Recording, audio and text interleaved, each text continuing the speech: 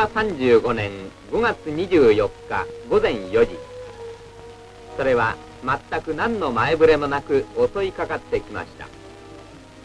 波の高さ5メートルにも及ぶ大津波が一瞬にして三陸沿岸を山下へと落とし込んだのでした。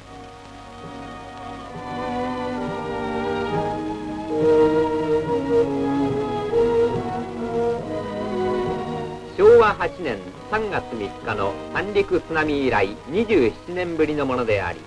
無残にも大きな爪痕を残しちゃったのであります。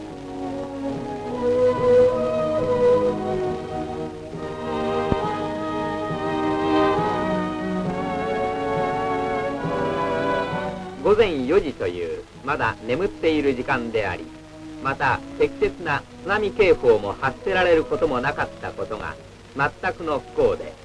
災害を大きくした原因でもありました。塩釜市の海岸通りでは不気味な余波が続き漁船遊覧船の多くが陸上に打ち上げられ1200戸の家が浸水し130隻の船が流出または損壊したのであります。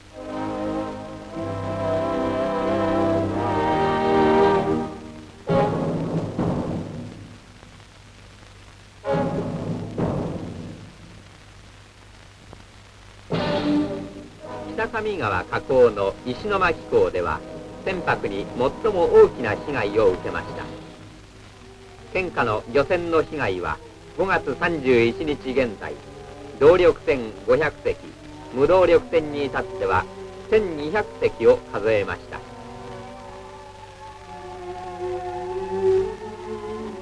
昨日まで高く掲げた大量機も今は虚しく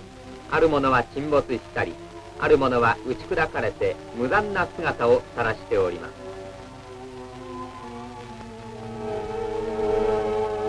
世界三大漁場の一つ三陸沖を控えてにぎわった。これが石巻港の姿なのでしょうか。呆然と川岸に佇むうちに北上川を逆流した無情な津波は泥水となって再び海へと去って行きます。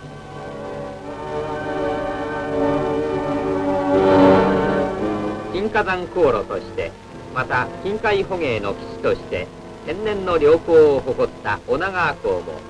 静川町に次ぐ被害を被り町の中心をなす海岸通りの商店街は家屋の倒壊と浸水に見舞われ見るも無残な情景を呈しております。県下商工関係の被害は店舗破壊が1300件。商品の被害などの合計は34億円にも及びました。かろうじて残されたずぶ濡れの商品を手にする人々の姿もひとしお哀れであります。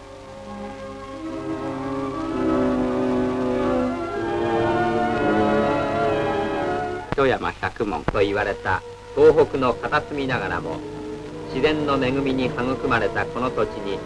貧しいながらも永遠として平和に暮らしてきたこの人たちに何の罪があったというのでしょうか。天のなせる災いというもあまりにも無残。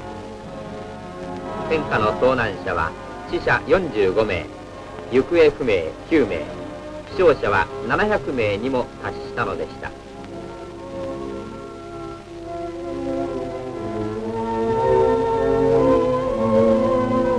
堤防が決壊し建物の流れ去った泥海には不気味な余波がまだ続いています。志津川町は地理的に石巻と気仙沼との中間にあり行政の中心地として観光省をはじめ公共機関の多い町ですが3つの川が流れ込んでいるためもあり全町の半数の家が流出または壊滅したるという。最も大きな被害を被り恐怖と絶望に覆われたのでした。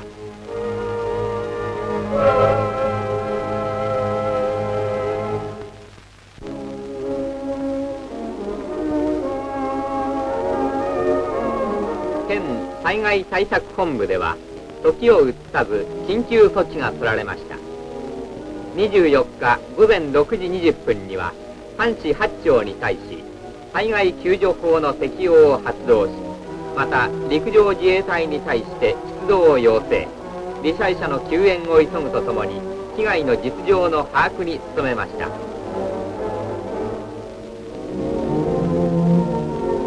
25日早朝三浦知事は NHK テレビの二元放送で村上建設大臣と対談し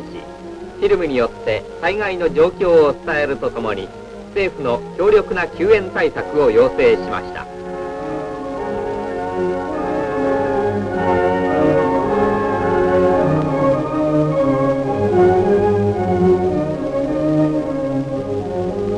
陸上自衛隊第6管区のヘリコプターによる救援物資の輸送は25日10時から開始されました。知事は24日直ちに地上より状況を把握し25日には新宮東北方面総監と第1便に登場。自ら陣頭指揮に乗り出したのであります。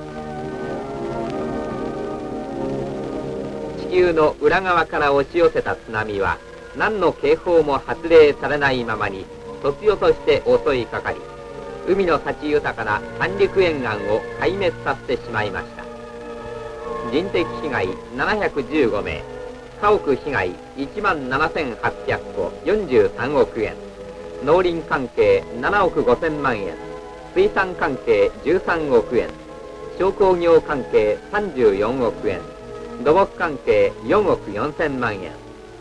その他学校公益事業施設などの合計額は5月31日現在で実に100億円に上ったのであります。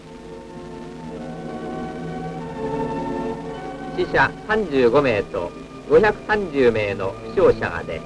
1500戸の家が跡形もなくなり400隻の船を失った静川町の簡単たる情景であります。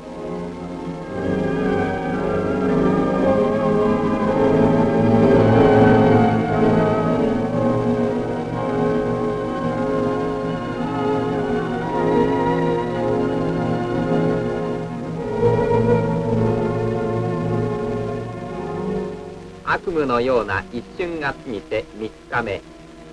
津波の余波の心配もなくなった26日頃から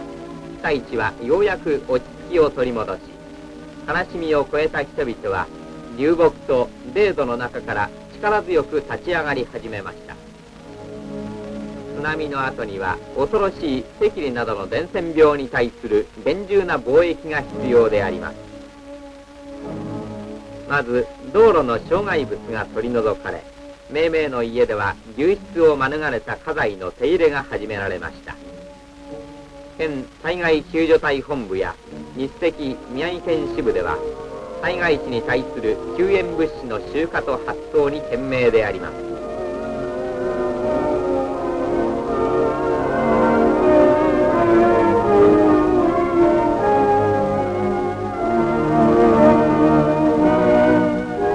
的には早くも全国各地からの救援物資が続々と送られてきておりました。応急輸送された物資は毛布シャツなどの医療品が38万5000点。米乾パン缶詰などの食料品が15万7000点。医薬品が1万3000点など合計55万6000点が自衛隊の協力のもとに90台のトラックを動員して絶え間なく現地へ急送されましたが装備と機動力にものを言わせた自衛隊の行動力は災害地につながる動脈となったのでした。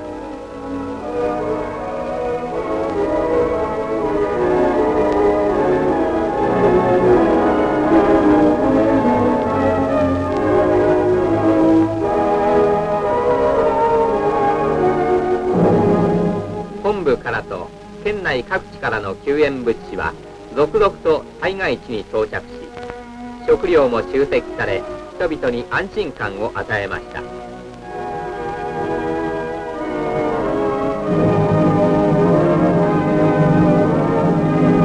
県下最大の被害地静川町でも普及が進み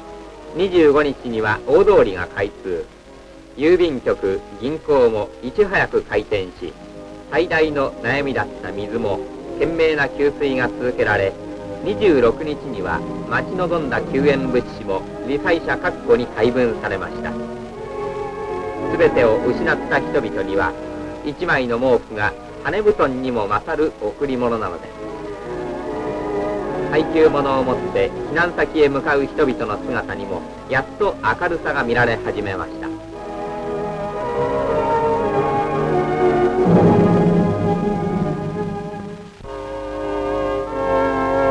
27日午後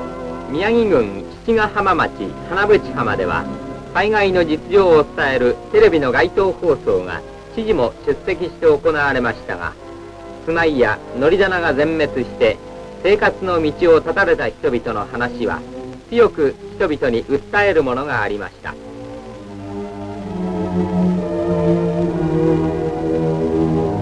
政府からは福田農林村上建設渡辺厚生奈良橋運輸の4大臣が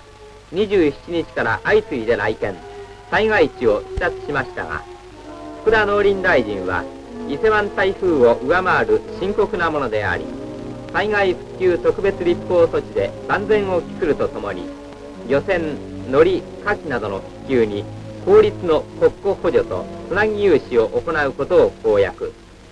村上建設大臣も特別立法を急ぐとともに今後の高潮の災害を防ぐための関係各省からなる協議会を設置したいと語りました。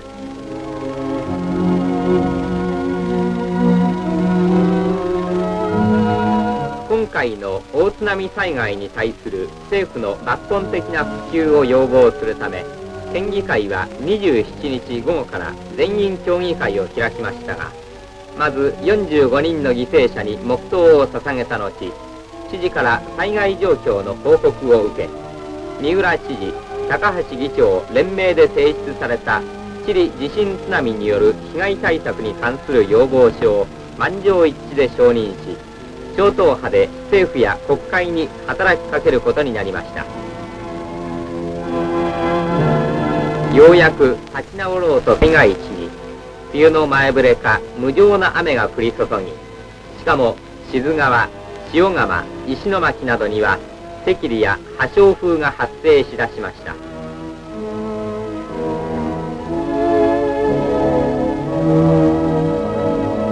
知事の出動要請に直ちに応じた自衛隊では東北方面隊第六管区総監部東京受品共同体などから延べ1万3000人。飛行機3機ヘリコプター9機。車両延べ340両が投入され。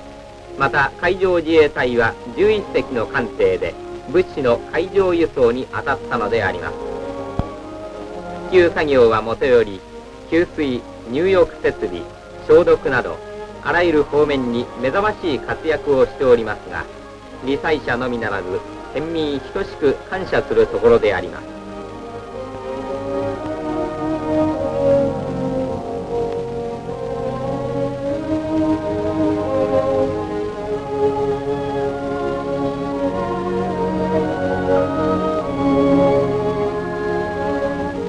災害がひとたび伝わると全国各地から続々と温かい見舞い金や救援物資が送られ有志団体による街頭募金も行われ罹災者を力づけてくれております。大津波の惨禍にあえぐ罹災者の多くは定置網海苔牡蠣施設漁船など貴重な生産施設を失った零細漁民なのであり到底自力では立ち直れず国の施策に待つほかはないのであります。応急住宅の建設制業に対する助成など強力な特別施策を推し進め一日も早く復興させたいものです。